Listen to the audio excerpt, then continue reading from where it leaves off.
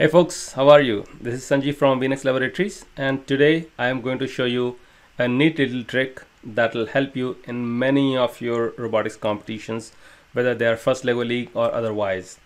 So one of the problems that we have seen very recently or I should say in the last seven or uh, eight years uh, in the especially in the FIRST Lego League competition is that you are given uh, a problem where your robot has to go and pick certain items and bring them back to the base or it has to move them from one location to the another. In general, you are asked to bring something back and then deliver to a different location and on the board. So what they all look like is this. So there is a flat base at the bottom and then you have a loop at the top. Uh, they call it the handle. These come in various shapes and sizes, but they all have the same structure and shape. That is, there is a bit of a heavy and solid base and then a loop at the top and what most teams uh, have have done and what we have seen many many of the teams doing is uh, the robot actually comes with a unicorn like uh, pointy um, I guess stick and it tries to put it in here. So what sometimes what will happen is you will hit the end sometimes you will hit here sometimes a little bit too high sometimes it's a little bit lower. But you try and aim for this area and put it here and then lift this arm somehow and then you move around. And while you're moving around this thing is jerking around your robot so uh, depending on your angle sometimes this is not super like you know this is not super properly angled I should say like this here like if you have very high angle then this will be held. If you have a little bit lower angle then while moving around this may just fall down. So that ha that happens. We have seen teams uh, do this quite often quite often. And what we realized was there is a much much simpler solution that you can have uh, instead of having a pointy uh, stick that actually lifts these is that you can have a simpler solution that just uh, works very very well works in spite of you uh, not having perfect alignment uh, and that solution is called the one-way lockbox.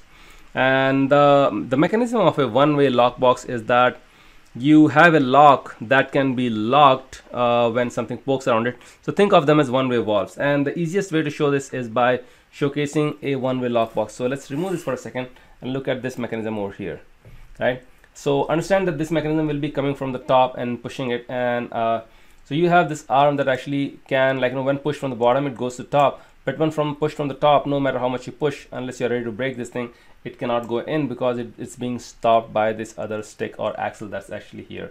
This is called a one-way lock box right and this is exactly how one-way valve works including the valves in your heart. I mean they're one way when the blood goes in uh, your heart allows it in. But uh, when the blood tries to push back it, uh, the blood that has gone out uh, tries to push back it doesn't uh, it doesn't go in.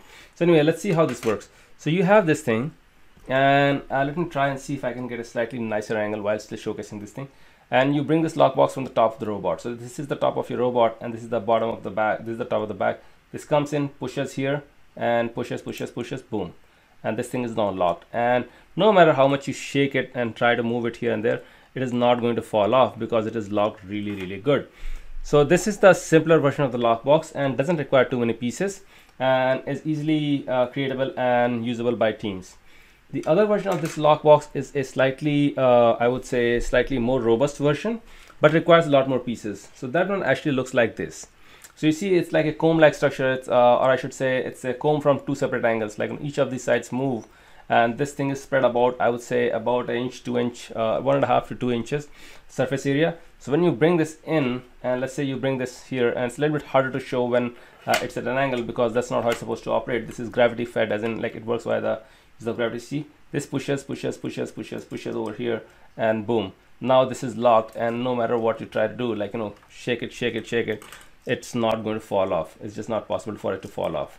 So uh, how, do, how do these things work? Let's go over them one at a time.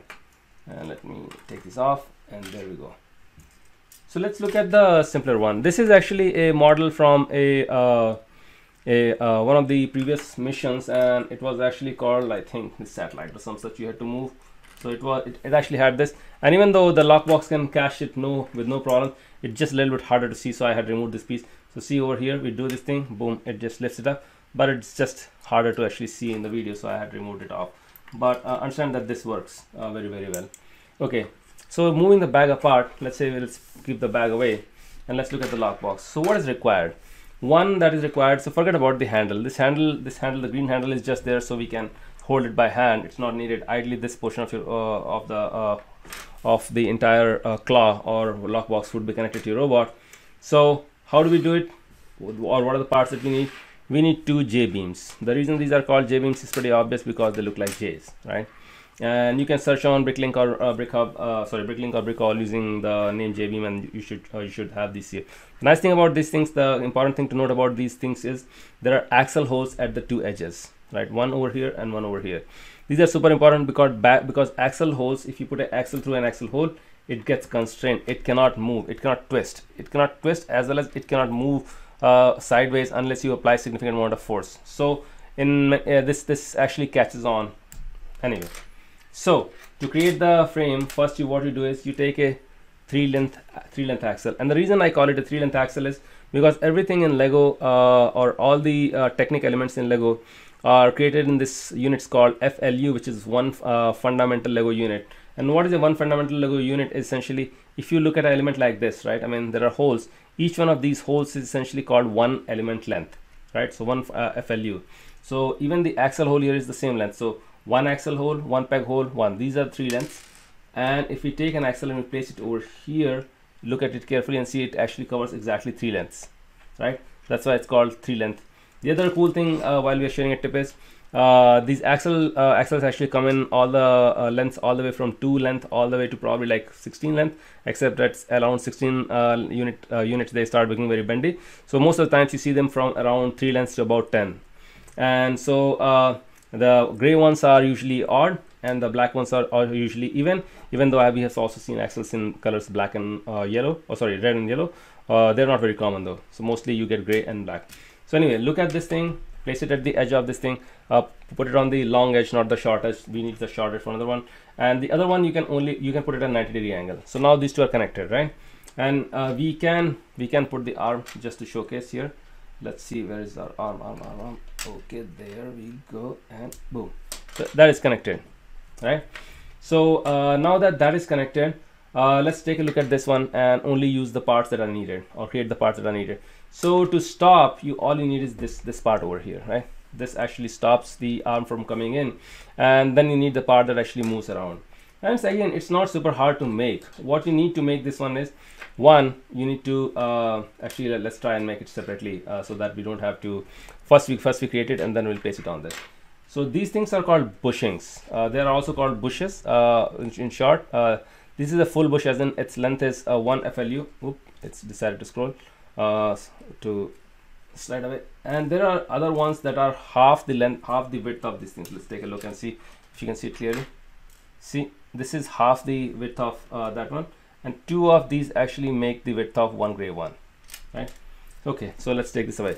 So anyway so what you do is you take an axle you stick this uh, this thing here. What we are doing really is using this as a spacer right? I mean so it just provides space and then we use this part. It's part uh, let's see if we can see it a little bit clearly uh, there. It has an axle hole on one side uh, sorry it has a peg hole on one side and the axle hole on the other side. So you place it here and when you place it see how it's completely moves. That is because uh, this is an axle but the hole in here is a peg hole. The peg hole is wider than an axle hole so it just moves around gently. And then we are going to put another full bush around this and make sure not to tighten this because if you tighten it too much see now when I move around it doesn't slide back or down. So we have to keep it just a hair of space here so it moves very very very very freely. So uh, that and then finally we need uh, yet another let's say axle. And where is another axle? Let's say we take this axle over here and stick it at the edge. So this is now like a T shape right? Except that this thing actually slides very very easily. Do that stick it in here at the edge and that that's it. That's your thing uh, this one is a bit longer. You should use a smaller axle here, making sure so, to ensure that you can actually uh, hook and hook in the loop very easily. But that's pretty much it, right? So this is the core fundamental. Uh, you build the one-way lock mechanisms using these uh, axle and peg hole uh, pieces. Uh, these are called axle. I think they're called cross blocks or some such. Anyway, that's what you do to create the bigger one which is a bit bigger bigger than this one and is a is is a lot more usable except that it uses a lot more parts you need slight more slightly more complexity and i'm going to show you how to make this one as well. Because uh, in reality if i was in the competition i would end up using this one not the other one. Uh, this one is uh, only if you are constrained on parts or you need to create something in a hurry. Uh, okay so let's take a look at this thing. So one uh, uh, the thing that you have to look at this one and be careful about is each of the sides I'll, I'll, put this one away so you can see it here clearly. See? There move this one away move this one away and there. Each one of these arms comes and see its length is not sufficient to go from this edge to the other edge. It actually gets constrained on the set because it also needs to open up in the center right? Like the teeth of a monster. So this actually opens up and comes back.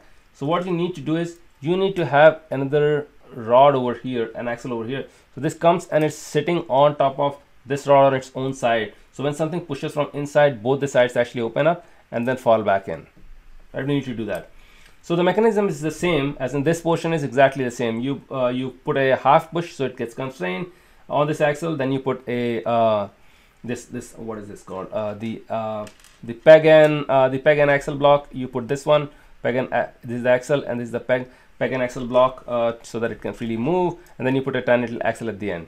The key thing that happens that I should differentiate is one this should not go all the way through a three length axle works awesome for this one. Uh, the mechanism is repeated exactly on the other side so we are going to only look at this one uh, this one side. So what we do over here is let's say we take this thing over here right? Uh, and we're going to create just uh, it just on one side. One let's say I'm going to take this thing and I'm going to stick this axle over here right? So I created an axle. Now and I, and I understand I'm creating only the one side note that I have to push this axle out slightly so it actually sticks out slightly on the other side. And the reason I'm doing is because I am going to be using this little piece uh, there. That angle is much better. This is just a flat beam it's called. On one side it has an axle hole and one side it has a uh, peg hole. This is extremely useful. The reason it's extremely useful is because I can use this to increase the length of this J beam a little bit. Now I connected the axle side axle hole side. See this is the axle hole side to the axle making sure that it is this whole thing is like you know one continuous line. And once I did that here a peg hole opened up for me and there's another axle over here. Now I take a another axle and this axle has a 8 uh, this is a 8 length axle. It has a uh, what is called end stopper at the end. And what this is is a slight circular uh, uh end. Uh, usually axles have a plus shape end. This one has a flat end. What what that allows is if you put it through a axle uh, sorry peg hole it comes and gets stuck. It cannot slide off. Okay so we put that and then we are going to take a half bush and push the half half bush on the this one the one that with the, the axle that we had put with the end stop. We are going to put it here and push it all the way to the edge. So now this is stuck. Because this half bush is there this cannot slide off. So now we have two of these. And beyond that the life is much much much simpler. So what we are going to do is take see observe. We are going to take one of these sorry one of these that we already had uh, we are going to take a three length uh, axle. We are going to stick it over here. And then we are going to put it on the black one. Not the one lower one not the one that's uh, in the on the extended part. We are going to take it and place it here inside. And see now this cannot go in anymore. Like this cannot slide in all the way. It, it comes up over here and then it falls. It gets stuck on the second axle. And then what we're going to do is like you know we are going to place a uh, a bush on this uh, make sure this is not too tight so it keeps on like going up and down gently. And then we're going to put another one of this over here then put another half bush just like uh, over here see? Like this. One half bush then uh, one of these arms that, that that is able to move up and down then the second one half bush second arm half bush third arm. And repeat the exact same thing except that you, you should make sure that a little bit of spacing is left so that they form like you know form they form shape like I should say what this they should not be going on top of each other because that would negate what we are trying to do. They should be a little bit like this. And that's what this is doing if you observe. And that's it. I mean take a look at this one. Even though we have all this paraphernalia here right? I mean this um, unnecessary uh, satellite dish like thing when we push it it go oh, sorry here let me see if you can see there things go and boom it just goes and everything locks and things are locked so that's what uh, that's what this video was about. Uh, this is a super useful technique that will hopefully help you in the FIRST Lego League competitions or in other competitions that you choose to participate in. Uh, if you like this video, please subscribe. It helps us. Uh, we would love to connect with you and see you next time around. Thank you.